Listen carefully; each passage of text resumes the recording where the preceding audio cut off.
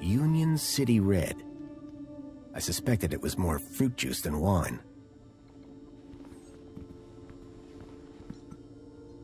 Definitely an improvement on the food dispensers they used to have here.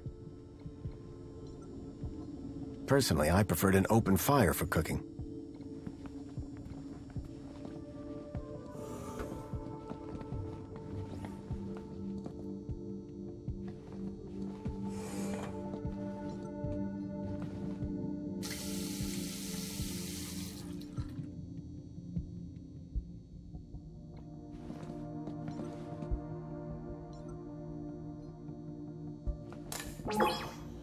Welcome back, Graham. Displaying your health chart now. It has been two weeks since your last checkup. You have lost weight. Congratulations. It has been noted that your height has increased, adjusting records accordingly. Scanning for medical implants. Error. Implant missing. Refreshing biomodification database. Please wait. Removing cardiac implant registration. Registering Schriebmann port as new implant. The scanner had detected my Schriebmann port, which allowed me to interact with Link, the city's old network. Since then, I'd pretty much forgotten about it. Adjusting your health rating from C to A+. plus. I was considerably fitter than Graham. That was good to know. Give me a checkup. Scanning. Your physical health is within the top percentile for a Union citizen. Congratulations. Thanks. You are welcome, Citizen Graham. Do you have any advice for me? A single can of Spankles contains more than your daily dietary requirements. Look for the clown. Drink Spankles. Keep a smile on your face. Thanks. You are welcome, Citizen Graham. What devices do I have installed? You possess a U-chip personal data implant in the perlicue of your right hand. It is functioning correctly. Your cardiac regulator implants have been marked as removed. Please return them to your nearest medical waste facility. You possess a Schriebmann local interneural connection port in the third cervical vertebrae. This hardware predates the Minos system and cannot be accessed at this terminal. That's probably for the best. You are welcome, Citizen Graham.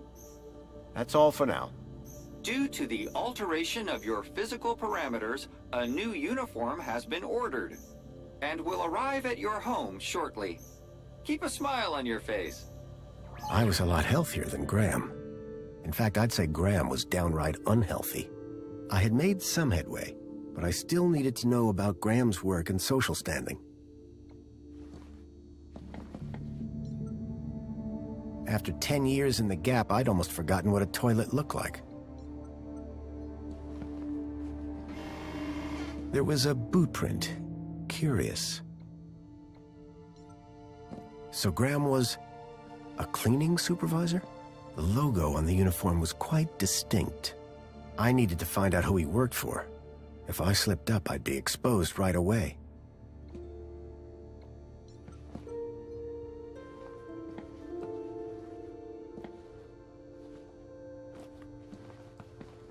A box had been hidden outside the window.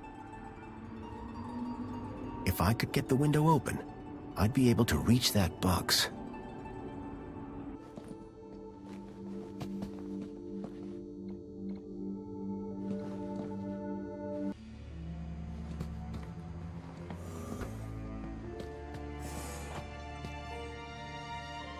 Personally, I preferred an open fire for cooking. At least one person in the city appreciated a nice cup of coffee, although I doubted Union City Blend contained even an ounce of actual coffee beans.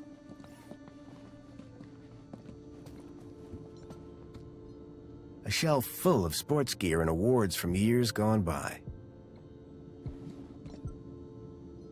Rhythmic gymnastics, first place.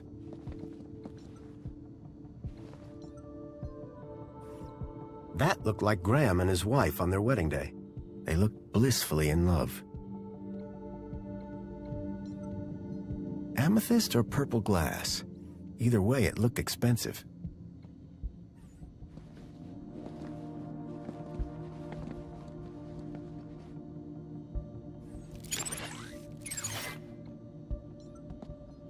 Fairy tales, courtly romances, and art books.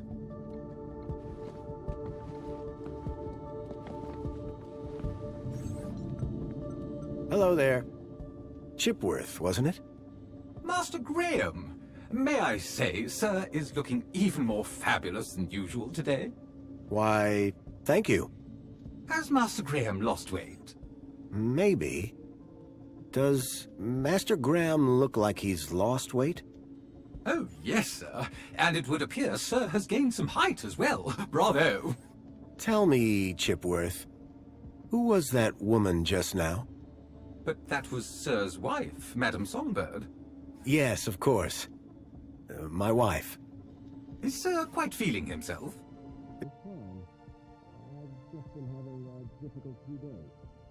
How serendipitous that the well-being mentor is here then, is it not, sir?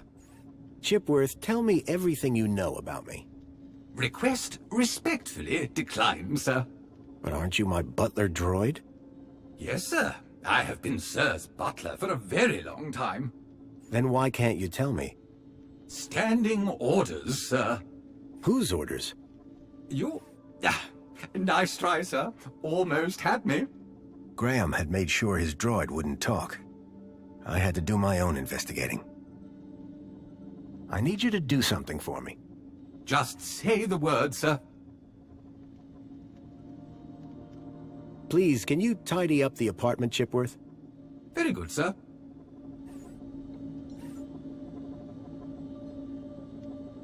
Hello, Chipworth. Hello, Master Graham. Who was that guy in here when I arrived? Is Sir referring to the gentleman currently probing your wife in the bedroom? Uh, I guess I am. That would be the Honorable Mentor Alonso, Senior Officer at the Ministry of Well-Being. I believe that he would like to see you next. He would? Mentor Alonso indicated that there were one or two anomalies in Master Graham's records. Public voting, kudos levels, employment, whereabouts within the city. Just some minor things, then. Consumption patterns, biosigns, indication of physical existence. I think I get the picture. But I'm sure there's a simple answer, Master Graham. A woman? Can Sir possibly be referring to his good lady wife? Humor me. For instance, her name would be... Madame Songbird. Clearly, Sir is not feeling quite himself today. Sir might recall he even forgot dear old Chipworth's name earlier. Who? Uh, me, sir. So, what do you do, Chipworth? Whatever Sir desires. So if I told you to set fire to something, would you do it? Sadly, sir, one's capabilities are restricted to the minutiae of domestic service. Shame. We are what we are, sir. At least as far as anyone else needs to know. This mentor, what will he ask me about? The Ministry of Well-Being is always concerned, sir, with a citizen's well-being. Well-being? That's right, sir. A citizen's health and happiness, their relationships and social life, all of the utmost importance to the Ministry. He might also inquire if Sir needs any support in the workplace or similar. Why exactly was I selected? I believe Sir's two-week-long work, poll, and social hiatus may have raised some concerns. Just be yourself, sir, and you will be fine. Of course, because I am Graham Grundy. Goodbye, Chipworth. Have a very special day, sir. Excuse me, please.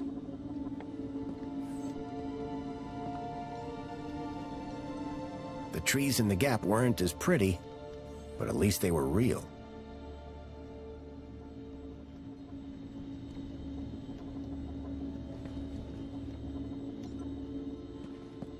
The pictures were all of Graham's wife. They were photochemical prints, taken using an old-style film camera. The retro technology had managed to blend songbirds seamlessly into the fake backgrounds. The photography was impressive, but the subject didn't look happy. The pictures in the apartment told a sad story, a blissful romance that had soured with time.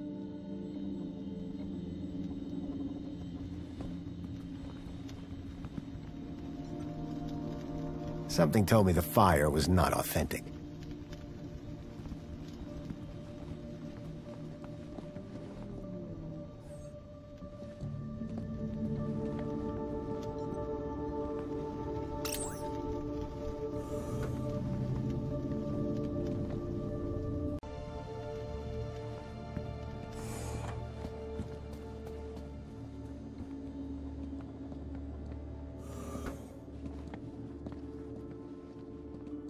I was hit by the acrid smell of chemicals.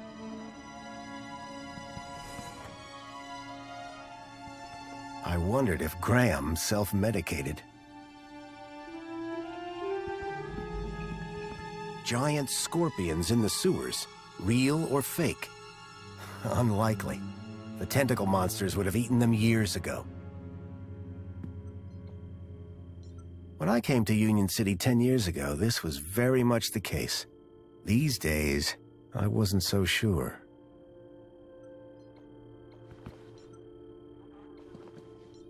Anti-Hobart propaganda. Some things never change. A printer? It was rare to see one of those. You can tell a lot about a man from his shoes. In this case, that the man had no taste. A sword? The blade was cracked. Developing fluid in trays. I hadn't seen gear like this since I was a child. It looked like one of the land trains from the city walls. It was a detailed model.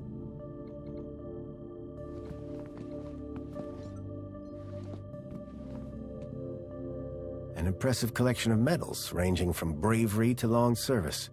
Most of the medals dated back to before I was born. A security forces copter. I still had nightmares about those things. Twice I'd flown in them, and both times they'd crashed. I hoped I wouldn't have to risk it a third time. A uniform like the one Graham's wife wore. It was cut for someone much larger. I needed to find out who he worked for. If I slipped up, I'd be exposed right away. The box was for a deluxe hollow plinth replacement lens. There was nothing inside. I wondered if the people knew that Hobart agents had helped me save their city. A cavalcade of cryptids. Someone believed in monster stories.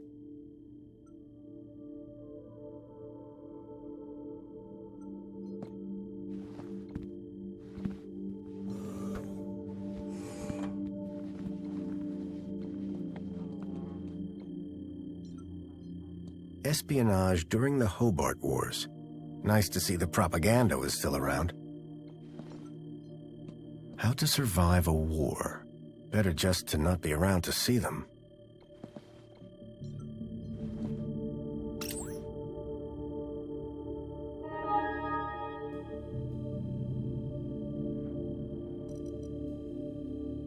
I couldn't access Graham's messages. I added that to my list of things to look into.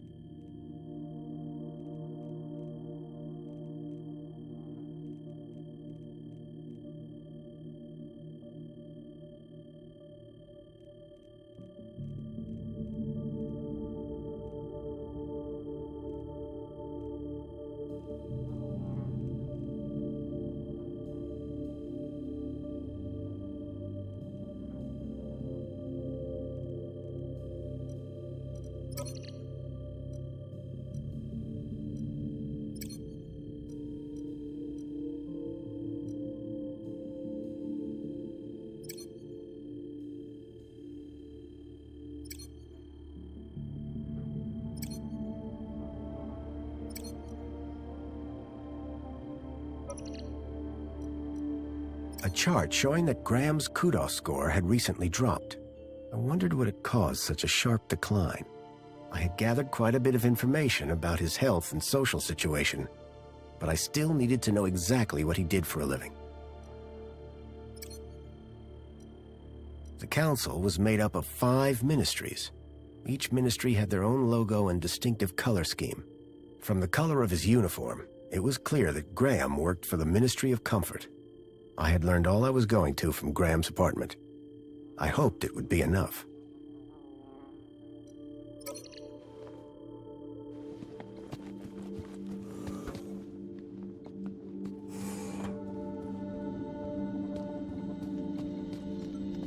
If I was going to convince the mentor, I had to be sure I knew enough about Graham. I couldn't keep them waiting any longer. From that point on, I had to be Graham Grundy, cleaning supervisor.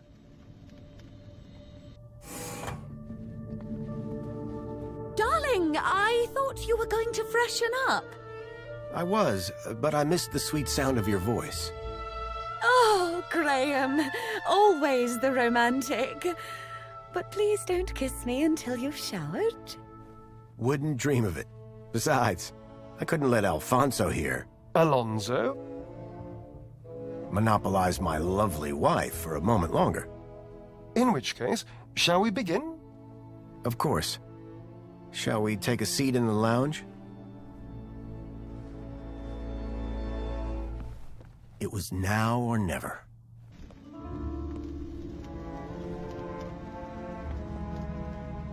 So, Mr. Grundy.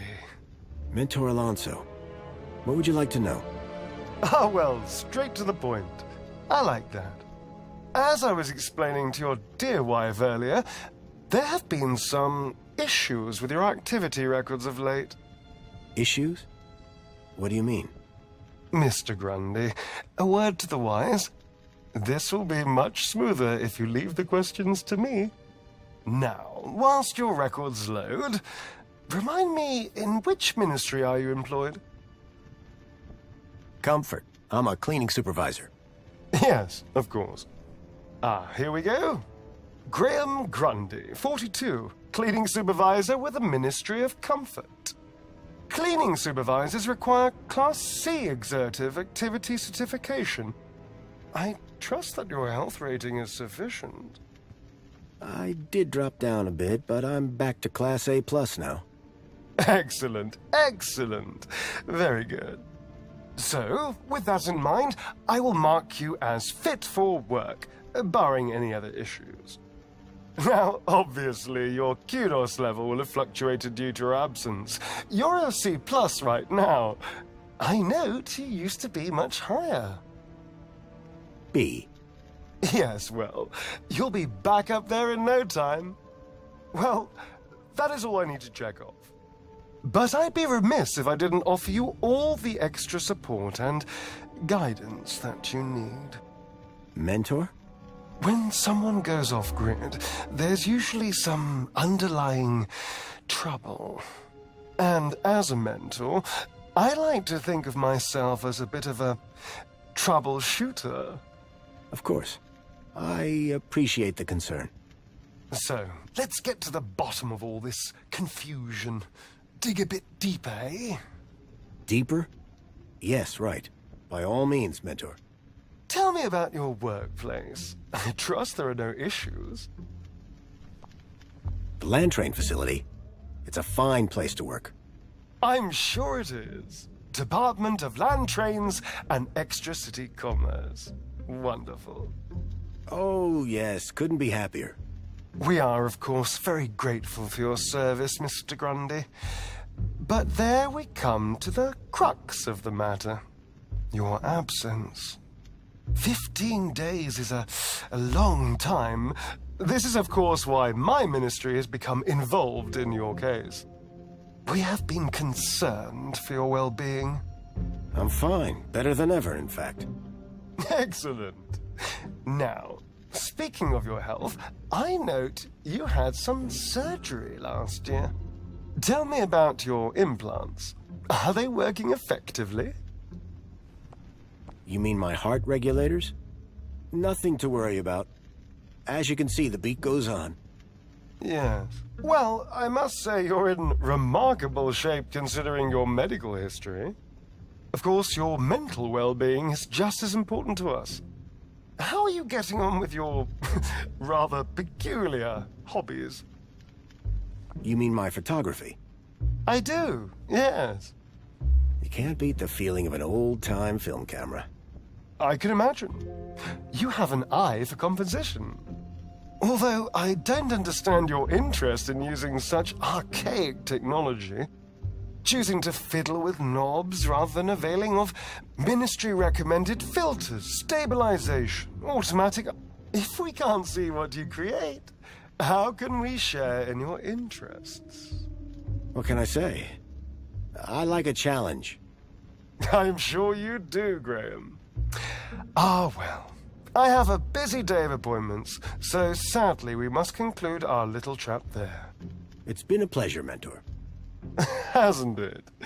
So with that in mind, perhaps you can tell me where you've been for the last two weeks. What? Right. Yes, where have I been the last two weeks? Well? Okay, so... The last two weeks. I was working at the land train facility, of course. Cleaning. I'm a cleaning supervisor. And while I was cleaning, I must have bumped my head. The next thing I knew, I was in the middle of nowhere, still on the train. Two weeks later, the train returned to the city. Cleaner than it's ever been, I might add. My poor darling! How awful! What a dreadful thing to happen!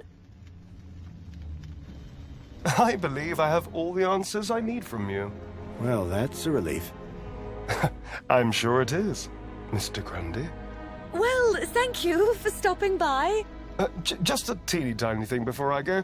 There appears to be one or two anomalous results here. Anomalous? That doesn't sound good. it may be nothing. But here's the thing. I get strange readings when I scan your U-chip. Any idea why? Mm, maybe it got damaged when I fell. Ah, yes. Of course. That's probably it. You see, the only other time I've seen anything like this is when a U-chip has been tampered with. No one would have done that now, would they? Tampered with? I didn't even know that you could do that. Graham's a supervisor, not a subversive mentor. Yes, a supervisor, not a subversive. Damaged when he fell. Request analysis. There. Perfect. I have everything I need. Great. Chipbot will show you out. Chipworth, darling?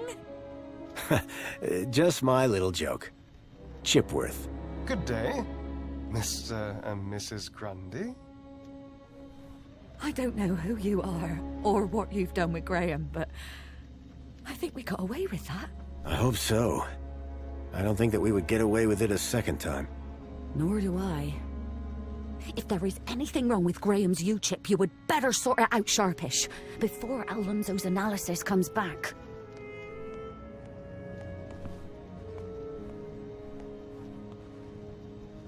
Who even are you? Where's Graham? Are you that contact he kept ranting about? Whatever Graham had been up to, it had gotten him killed. I had to come clean with his wife.